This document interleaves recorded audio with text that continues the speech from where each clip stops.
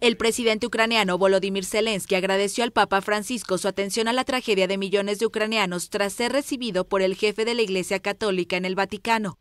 El mandatario indicó que durante la audiencia de 40 minutos evocó el destino de decenas de miles de niños deportados de zonas de su país ocupadas por las tropas rusas, según acusaciones de Kiev investigadas por la justicia internacional.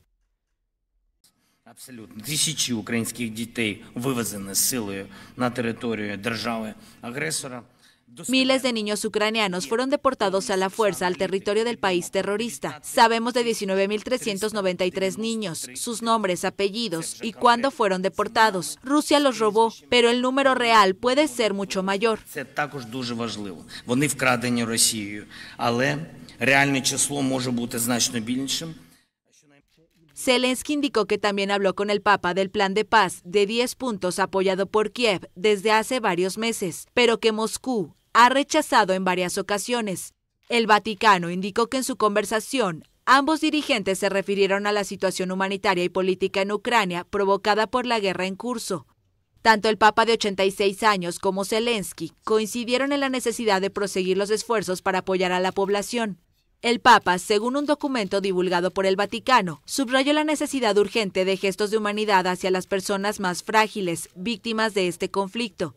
Antes de ir al Vaticano, Zelensky se reunió en Roma con el presidente italiano Sergio Mattarella y con la jefa de gobierno Giorgia Meloni. Eh, oggi ancora una volta è un messaggio chiaro e semplice. El mensaje que queremos reiterar hoy, una vez más, es un mensaje claro y simple. El futuro de Ucrania es un futuro de paz y libertad y es europeo. Y no hay otra solución posible para esto. Estoy convencida de que Ucrania ganará y renacerá más fuerte, más orgullosa y más próspera que antes. Che l'Ucraina vincerà e che rinascerà più forte, più orgogliosa, più prospera di prima. Credo Zelensky seguirá su gira el domingo en Alemania, que anunció un nuevo plan de ayuda militar a Ucrania de unos 2.950 millones de dólares.